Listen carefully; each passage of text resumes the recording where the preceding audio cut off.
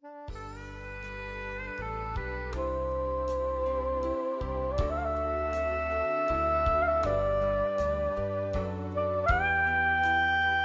ื่อวันที่ 8 พฤศจิกายน 2559 เวลา 10นาฬิกา30 นาที นายชาติชาย ทิพสุนาวี ปลัดกระทรวงคมนาคม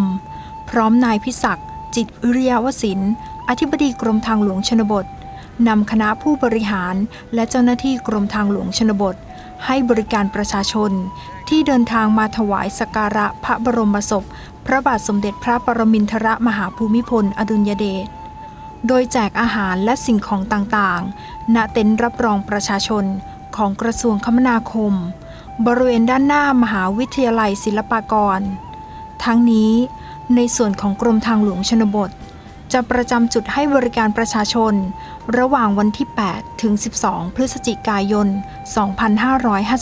2559 ซึ่งจะให้บริการตั้งแต่เวลา 8นาฬิกาถึง 20นาฬิกาสำหรับในวันนี้ ภายในเต็นท์มีสิ่งของให้บริการประชาชนดังนี้ 1. น้ำดื่มจำนวน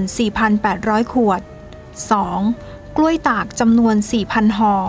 3. มะขามแก้วจำนวน 4,000 ห่อ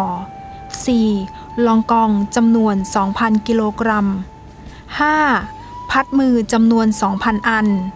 6. ยาดมจำนวน 2,000 แท่ง ณ เต็นท์รับรองประชาชนของกระทรวงคมนาคม บริเวณด้านหน้ามหาวิทยาลัยศิลปากร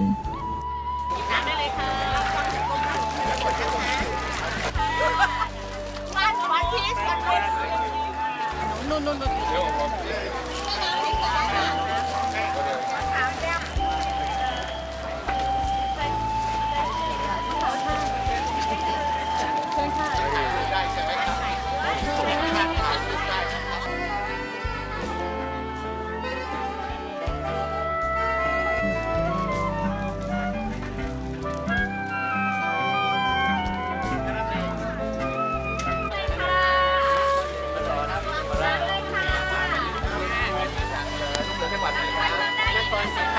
มา